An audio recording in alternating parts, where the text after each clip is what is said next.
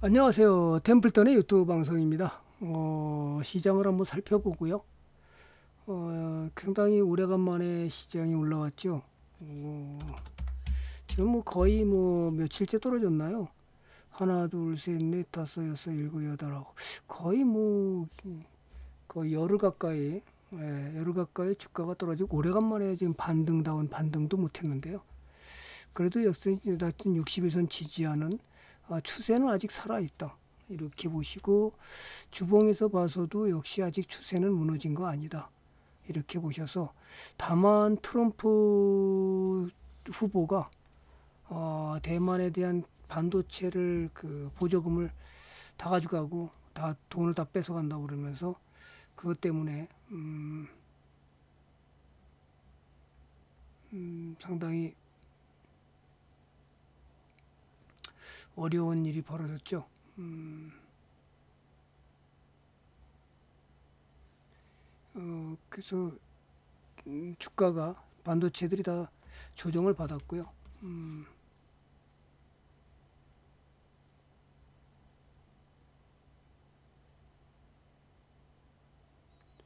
어, 그거로 인해서 지수는 계속해서 올라가지 못했어요. 자, 그 오늘 오래간만에 좀 반등을 하긴 했는데 그렇게 강하지는 못하다. 어, 투자 종합을 보면 어, 외인들만 매수하고 기관은 매수를 안 하고 연기금 조금 매수했기 때문에 어, 상승다운 상승을 못했습니다. 미국에 비해서 음, 좀 아쉽죠. 이런 것들이 어쨌든 그렇거나 말거나 우선 가장 이제 주도주가 어떤 게 가느냐 중요한 거고요. 또 오너 리스크를 만드는 어, 이 카카오 어, 카카오가 지금 상당히 개인 투자자들을 아프게 하고 있죠. 공매도를 밥 먹듯이 하고 어, 지금 신저가를 깼습니다. 우리는 뭐 여기서 매도를 했다고 끊임없이 제가 방송할 때 무료 방송에 뭐 할 때마다 다 얘기를 했기 때문에 우리는 여기서 매수 시작해서 예, 여기까지 끌고 왔습니다. 그리고 매도를 하고 지금 뭐 쳐다보지도 않고 있는데 개인 투자자들이 굉장히 많이 물려 있어서 굉장히 아플 거로 보입니다. 이것이 지금 또 어, 지난번에 SM 주식에 대한 그 어, 주가 조작 논란으로 어, 대표가 지금 구속이 됐죠. 그러는 바람에 주가는 더더욱 리스크가 되면서 신저가를 깼습니다. 상당히 어려운 국면에 갔습니다. 참 이게 돈이라는 게 뭔지 자관 이런 시기에 계속 가지 못하고 있고요. 어, 손절 못한 개인들은 또 아프게 상당히 고전을 면치 못하고 있을 것으로 안타까운 모습을 보고 있죠.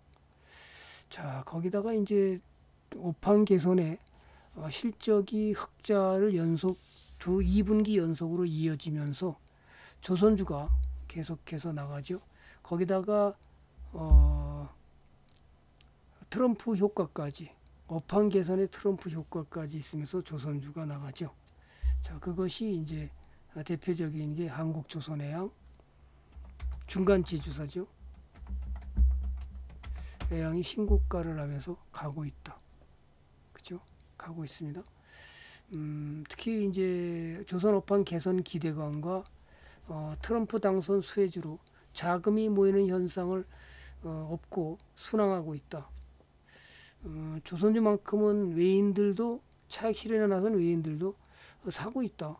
투자자별을 보면 외인들이 어떻게 사고 있는지 한번 보시죠. 외인들이 지금 매수를 계속 가담하고 있죠. 이러면서 신고가를 나가고 있다. 이것이 어, 조선주가 주도주로 가고 있는 상황입니다. 계속해서 가고 있고요. 음, 올해 들어와서 60% 가까이, 2024년에 60% 가까이 됐죠. 지금 거의 60%가 올라갔고요. 어, 현대미포는 올해 들어와서 얼마나 올라갔나요? 올해 들어 24년 들어와서 현대미포는 그렇게 많이 안 올라갔지만 27%. 자, 이런 것이 한국조선해양이 올해 들어 60% 가서 삼성중공업이 17.6%, 현대중공업이 12.3%, 미포조선이 12% 이렇게 근데 현대 지금 한국조선해양이 가장 어, 대장으로 지금 현재 어, 가고 있습니다. 그것은 앞으로 지주사기 때문에 얼마나 올라갈지는 굉장히 좋은 의미가 가고 있고요.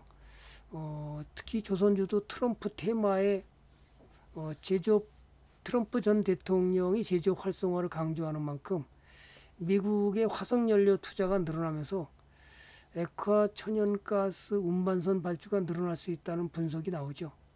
그러다 보니까 아마 업종 전반에 대한 기대감 또 이것이 어, 또 한국조선해양과 선박엔진 제작업체인 STX 중공업의 기업 결합 조건부 승인 이것들이 아마 다 합쳐서 아마 조선해양이 가장 잘 나가는 게 아닌가 이렇게 볼 수 있습니다.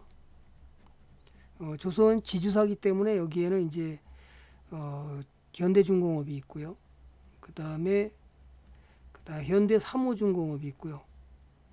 삼호. 그 다음에 현대 미포가 있고요. 그 다음에 이번에 이제 STX, STX 중공업이 편입이 됐죠. 그래서 어, 한국 조선해양이 더 강하게 나갈 가능성이 더 커 보입니다. 지금은. 그래서 주도주를 어떻게 들고 갈 것이냐. 이제 이게 가장 중요하죠.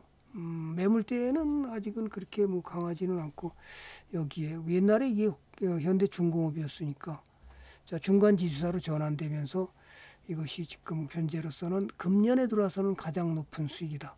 23년부터 따진다 그러면은 뭐이 162%고요. 음,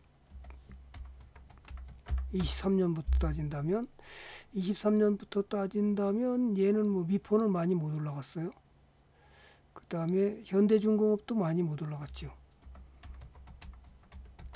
그죠? 현대중공업도 23년부터 따진다면 예, 현대중공업도 지금 50% 조선해양이 가장 많이 갔습니다. 자 이렇게 해서 어, 주가가 계속 상승하고 있어서 여러분이 어떤 식으로 어, 주식을 더 키울 것이냐 조선주가 가기 때문에 그것을 더 어, 확대 전략으로 가신다면 주도주가 갈 때 수익을 더 극대화할 수 있지 않을까. 그 다음에 이제 거기에 따라서 가는 것이 방산주죠. 오늘도 신고가를 해서 한화 에어로라든지 그죠? 또 현대 로템이라든지 이런 것들은 뭐 지금 굉장히 그 수익을 크게 주고 있는 상황입니다. 우리 유료인데 오늘도 신고가를 냈는데요. 이렇게 해서 여러분들이 주도주를 어떻게 담고 갈 것이냐가 가장 중요한 포인트가 될 것이다. 자, 이제 8월 14일부터는 어, 모든 채팅창이 막힙니다.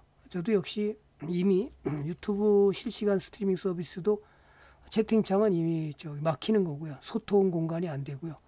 또 목요일 날 다시 스트림 저기 유튜브 어, 무료 방송을 할 때도 역시 채팅창은 어, 막아지고요. 그냥 강의만을 할 것으로 이렇게 예상이 되고요. 스트림 서비스도 마찬가지 그렇게 지금 전 사이트들이 모두가 그렇게 가는 걸 여러분들이 미리 알고 대응하시기를 바랍니다. 이제는 질문도 안 되고 질문에 대한 답변도 안 됩니다. 오로지 되는 것은 일방적인 전문가의 강의와 그거를 참고해서 여러분이 그저 손실과 수익을 여러분 스스로 어, 책임을 질 수 있는 그런 시대로 가고 있기 때문에 그것을 잘 이용해서 수익을 극대화하는 전략으로 가시면 좋겠습니다. 짧게나마 오늘 시장에 대해 살펴보고 주도주가 어떻게 나가는지 알려드렸습니다. 좋아요와 구독은 저의 사랑입니다. 오늘 여기까지 하겠습니다. 감사합니다.